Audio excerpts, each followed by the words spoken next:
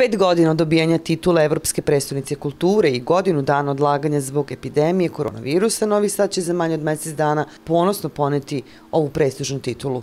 Mnogo se radilo tokom posljednjih nekoliko godina, ali se trudi isplatio. Novi Sad je sada spreman da na velika vrata predstavi Evropi, ali i svetu, projekat od nacionalnog značaja. Svečano otvaranje imamo 13. januara i svakako sve ono što smo radili još od 2016. godine kada smo u Briselu dobili titul u toj fazi pripreme, razvijanje programa, dizanje kapaciteta, kulturne scene sa jedne strane, sa druge strane i ustanova i svega onog što čini danes resor kulture u gradu.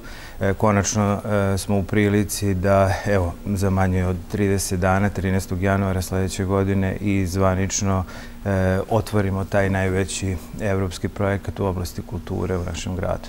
Svi procesi će nastaviti da se razvijaju trasiranim putem, jer je razvoj kulture u skladu sa strategijom kulturnog razvoja Novog Sada do 2026. godine. Trenutno sprovodimo treći akcioni plan i ono što mogu sa ponosom da kažem da naša strategija, nema mnogo lokalnih samuprava u Srbiji koji imaju strategiju, to se može, mogu se izbrojati e, e, ove prstima jedne ruke, ali E, naša strategija daleko od toga da je mrtvo slovo na papiru. Naprotiv, nego E, kroz akcijone planove da konkretizujemo sve ono što je bitno za te dve godine koje obuhvata e, akcioni akcijoni plan.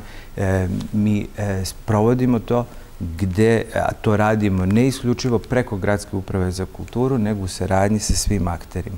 Svi procesi uključuju aktere koji žele da doprinesu razvoju kulturne scene u gradu i to im treba omogućiti. To primećuju i građani jer u Novom Sadu sada ima mnogo više kulturnih dešavanja i bit će ih još više uz pomoć realizovanih infrastrukturnih projekata poput nove muzičko-baletske škole sa koncertnom dvoranom koja će Novi Sad pozicionirati na karti gradova koji s pravom nose titulu Centra kulture u Evropi.